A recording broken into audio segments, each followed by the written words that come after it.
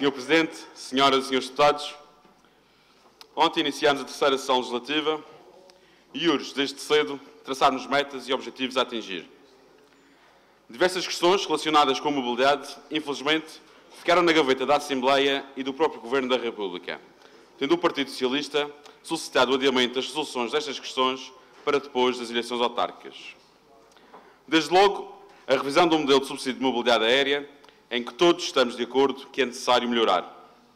Não tenho quaisquer dúvidas que este modelo, hoje praticado, é melhor que o anterior. Mas não foi por acaso que, ao implementar o atual modelo, colocámos a obrigatoriedade da sua revisão após seis meses, pois sabíamos que haveriam arestas a limar. Infelizmente, a esquerda não conseguiu cumprir com o previsto da lei e continuamos hoje, passado 24 meses, a aguardar pela tão desejada revisão. Neste campo, não me conformo pela dupla penalização imposta aos portugueses. A questão do teto máximo para efeitos de reembolso não teve em conta a dupla insularidade, fazendo com que os valores passíveis de serem reembolsados sejam diferentes entre quem vive na Ilha da Madeira e quem vive na Ilha do Porto Santo.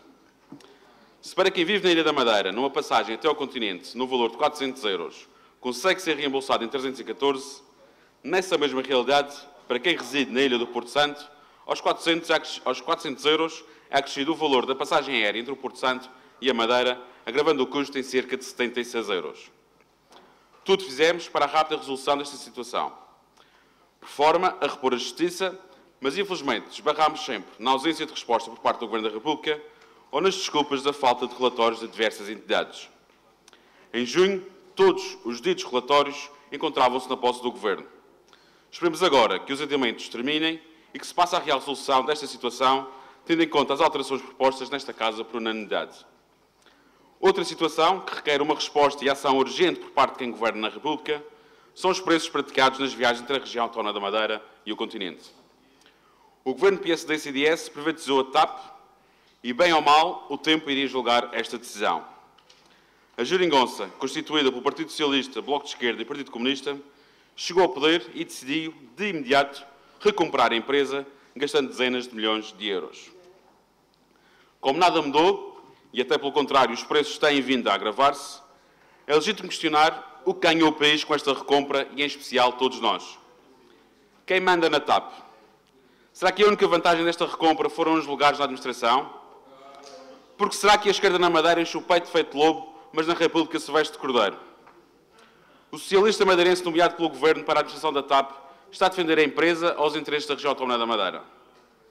Toda esta operação faria sentido se fossem constatadas melhorias no que diz respeito aos serviços e aos preços praticados, mas, mas infelizmente nada se verificou. É por tudo isto que estas questões devem ser esclarecidas, pois as dezenas de milhões de euros investidos na recompra da TAP serão do bolso de todos os portugueses, incluindo os portugueses insulares, que são os mais prejudicados.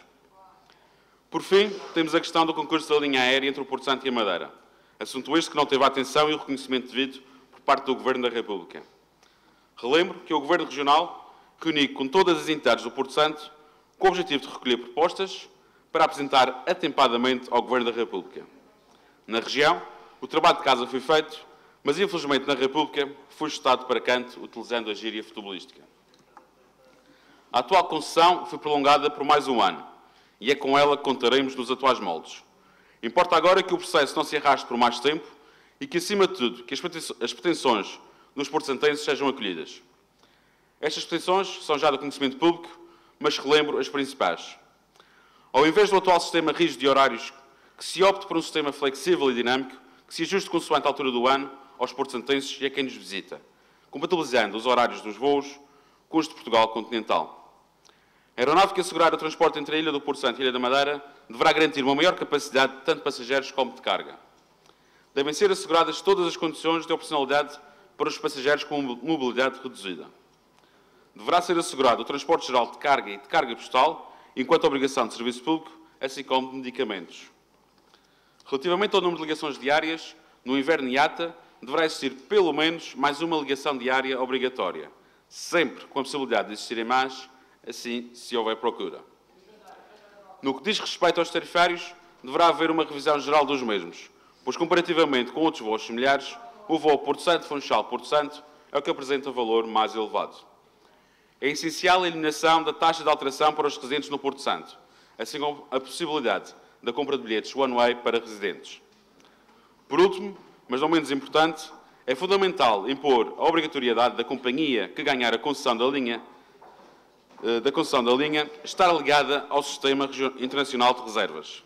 Desta forma, será possível voar em parceria com outras companhias, através de Interline ou CodeShare, possibilitando a implementação do bilhete corrido tão desejado por todos nós.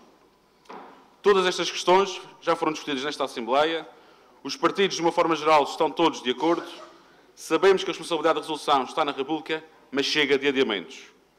Ou existe ou não existe vontade política. Os portantenses, neste aspecto, merecem muito mais consideração.